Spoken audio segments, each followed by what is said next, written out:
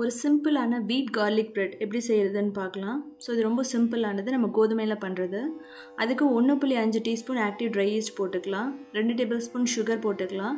கால் cup வந்து வெதுவெதுப்பான தண்ணி ஊற்றிட்டு நம்ம ஒரு பத்து நிமிஷம் வந்து என்ன பண்ணலாம் அப்படின்னா இதை விட்டுவிட்டோன்னா அது ரைஸ் ஆகிடும் ஸோ இப்போ வந்து நம்ம கார்லிக் ப்ரெட் அதனால் வந்து கார்லிக் போட்டுக்கலாம் கொத்தமல்லி போட்டுக்கலாம். அதுக்கப்புறம் ரெண்டு க்யூப்ஸ் வந்து பட்டர் போட்டுக்கலாம். ஸோ இதை நல்லா மிக்ஸ் பண்ணிக்கலாம். ஸோ அதுக்கப்புறம் நம்ம ரெண்டு கப் வந்து வீட் ஃப்ளவர் அதாவது கோதுமை மாவு ஆட் பண்ணிக்கலாம். தேவையான அளவு உப்பு போட்டுக்கலாம். ஸோ முதல்ல இதை வந்து நல்லா மிக்ஸ் பண்ணிக்கலாம். இப்போ வந்து நம்ம அந்த ஈஸ்ட் ஆக்டிவேட் பண்ண ஈஸ்ட்டை போட்டுட்டு அதையும் நல்லா மிக்ஸ் பண்ணிக்கலாம்.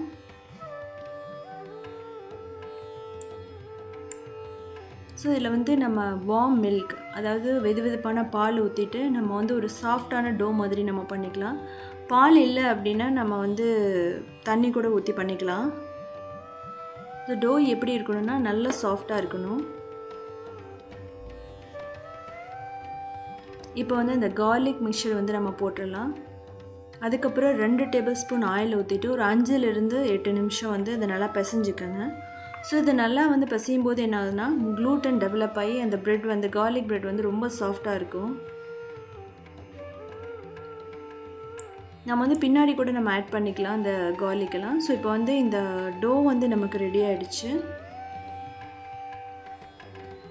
இதில் வந்து ஒரு டேபிள் ஸ்பூன் ஆயில் ஊற்றிட்டு இது எல்லா பக்கம் நல்லா வர மாதிரி தடை விட்டுக்குங்க. இது வந்து ட்ரை ஆகாமையும் ஒட்டாமையும் இருக்கும்.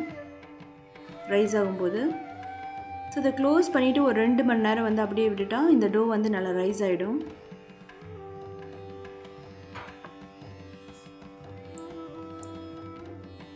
ஸோ இப்போ வந்து ப்ரெஷர் குக்கரில் வந்து நம்ம கேஸ்கட் விசிலையும் எடுத்துகிட்டு நம்ம என்ன பண்ணலாம் அப்படின்னா ப்ரீஹீட் பண்ணிக்கலாம். பதினஞ்சு நிமிஷம். அதுக்கப்புறம் வந்து பட்டர் போட்டுட்டு நம்ம பிளேட்டில் வந்து நல்லா தருவிக்கலாம் அதுக்கப்புறம் மாவு போட்டுட்டு ஈவனாக ஸ்ப்ரெட் பண்ணிடலாம். அப்போ தான் வந்து அந்த ப்ரெட் வந்து ஒட்டாமல் வரும்.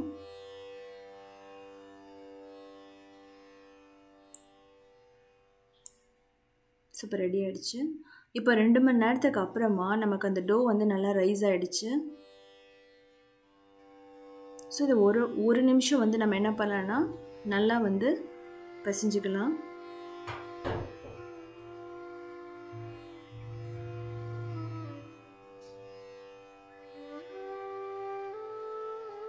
பட்டர் ஷீட் மேலே வச்சுட்டு மாவை தூவிட்டு நம்ம என்ன பண்ணலான்னா ஒரு ஓவல் ஷேப்பில் நமக்கு என்ன ஷேப்பில் வேணுமோ அது மாதிரி நம்ம பண்ணிக்கலாம். இப்போ வந்து அந்த கார்லிக் பட்டர் மிக்சர் வந்து நம்ம வச்சிடலாம்.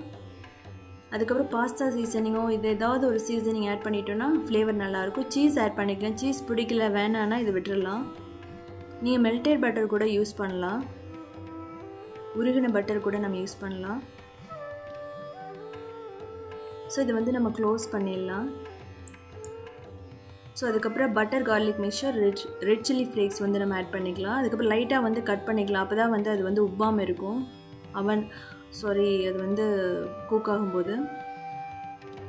இதை எடுத்துட்டு நம்ம பட்டர் தடவைனா அந்த பிளேட்டில் வந்து நம்ம வச்சிடலாம்.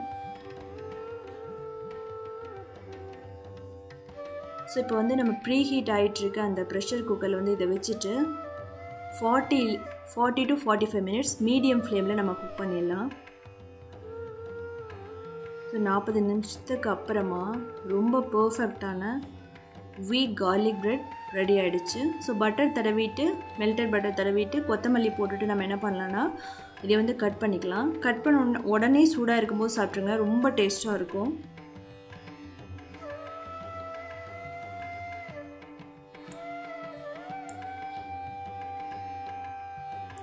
ஸோ பர்ஃபெக்டான கார்லிக் பிரெட் ரெடி செஞ்சு பாருங்கள் செஞ்சு பார்த்துட்டு கமெண்ட் பண்ணுங்கள்